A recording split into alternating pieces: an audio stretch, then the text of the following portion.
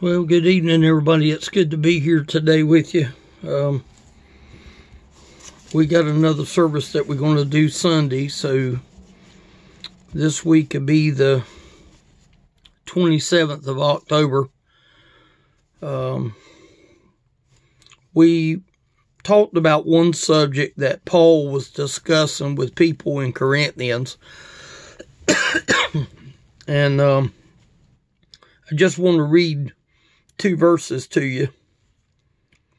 In 1 Corinthians 15, 51 and 52, I spoke on this subject many times, but I want you to just listen if you would. It says, Behold, I show you a mystery. We shall not all sleep, talking about death, but we shall be changed in a moment, in the twinkling of an eye, at the last trump for the trumpet shall sound, and the dead shall be raised incorruptible, and we shall be changed. It's talking about a change, an eternal change. It's talking about how sudden it's going to happen. In a moment, in the twinkling of an eye. Um, we shall not all sleep. See, all these people in Corinthians, they're sleeping. You and I are not sleeping. You and I are awake today. We don't have no promise of tomorrow that you and I are awake. I went over to um, another scripture over here that I went to, and it was the one in Thessalonians. Everybody knows which one I'm going to go to, but that's good. He tells us here in this verse, he says, But I would not have you to be ignorant, brethren, concerning them which are asleep. He doesn't want them to be unlearned. He says that you sorrow not, even as others which have no hope. Well, if we know that if we're not saved, we don't have no hope. We don't have no hope of anything that's going on for the good. For if we believe that Jesus died and rose again, even so them also which sleep in Jesus will God bring with him.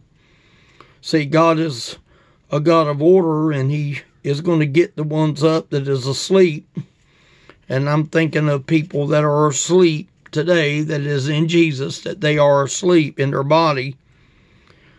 But then he goes on to say, For this we say unto you by the word of the Lord. That tells you that he's not talking in his own wisdom. That we which are alive and remain unto the coming of the Lord shall not prevent them which are asleep it actually means is that the ones asleep is going to go first and the ones that are alive is going to go second. And then it says in verse 16, For the Lord himself shall descend from heaven with a shout, with the voice of the archangel and the trump of God, and the dead in Christ shall rise first. See, God's a God of order. God is a God of order. Then we which are alive and remain shall be caught up together with them. Who's the them? The ones that just left. The ones that was raised from the dead. And he says here that they shall be caught up together with them in the clouds to meet the Lord in the air. And so shall we ever be with the Lord. But I get a lot of comfort out of that last verse. Wherefore, comfort one another with these words. Well, we talked about one fact, and that fact is the Lord is returning. We talked about the return of the Lord. Now, you know, in these verses that we just got finished reading, it's aimed at the saved. That's who it's aimed to. Now, can more people take advantage of that? Yes. It's a mystery to a lot of people. A lot of people, that right there is a mystery um, it deserves meditation. And it does. It deserves meditation. Our meditation should be on that day when the Lord does come back. He is coming back. And you know, I got great news for you. All is invited. Even the lost person is invited. Jesus just don't want the person to stay lost. He wants the person to know him and to know who he is. It's your end result. It's your choice. See, in that one verse right there that we just read, it says, For if we believe that Jesus died and rose again. See, that word if is a conditional word. In verse 14, First, First Thessalonians chapter 4 and verse 14, if, For if we believe that Jesus died and rose again, even so them also which sleep in Jesus, the ones that, that believed in Jesus and that died and rose again. If you believe that, what he's saying is God will bring with him, meaning that spirit man is in heaven. I had a man, he was saved at 16 years old and he was just visiting the nursing home. And he admitted to me after the service, he said he had been saved since he was 16 years old, but no one had ever told him that the spirit man goes to be with God the Father and the body goes into the ground. And no one had ever shared with him that fact. And you know, it's very clear it is your end result and it is your choice. Paul told us a warning. He gave us a warning. He's given a warning today. The question you have to ask yourself is will you be ready? You know, there's a lot of people that won't be ready for that day because they don't take it as it meaning anything. Only the saved will look forward to this day. The lost man's not going to look forward to it, but the saved will look forward to it.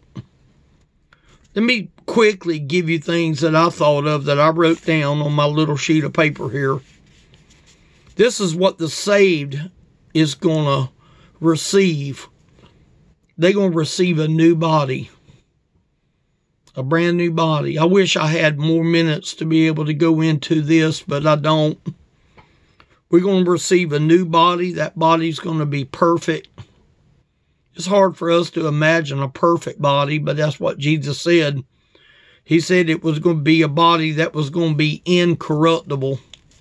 See, my daddy's in a corruptible state right now. But when Jesus comes back and pulls him out of that grave, he's going to be in an incorruptible body. That body's going to be perfect. There's going to be no sickness of where that body goes. Think of that. No pills, no syringes, no death. Jesus don't need to have a funeral home in heaven. There's no graveyards in heaven. You know, better than that, it's everlasting. The Bible tells us it's everlasting. You know why I know it's everlasting? Because there's no timepiece there. There's no such thing as time. There's no clock in heaven. I mean, there's no way of keeping time because the sun, there won't be no need of the sun, the S U N because the Bible says that the S-O-N is going to be the sun that we need, the light that we need. And you know, because there's no time, you know what else is going to be there? Everlasting joy. The Bible even says in one place in Galatians, the fruit of the Spirit is love and joy and peace, long suffering, gentleness, goodness, faith, meekness, temperance. Against such there is no law. But you know, there's going to be a place of endless joy. It's hard for our minds to imagine. I hope that we can at least try to imagine. The Bible says, Eyes have not seen, nor ears heard, neither have entered into the heart of man the things that God had prepared for them that love Him. But it is a mystery. And He wants us to meditate on that mystery because it is going to happen. I believe it's nearer than we we believe. I believe it's literally at the door. I've been saying that for years, but I do believe it's right at the door. Let me go back to that question that I asked a minute ago. Will you will Jesus return for you?